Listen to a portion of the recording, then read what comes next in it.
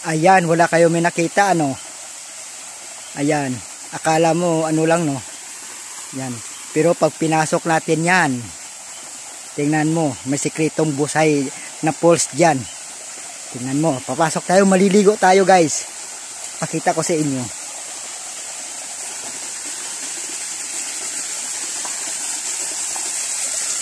Ah, ayun na! Kita nyo? Ang ganda! Sikretong kaya maliligo tayo!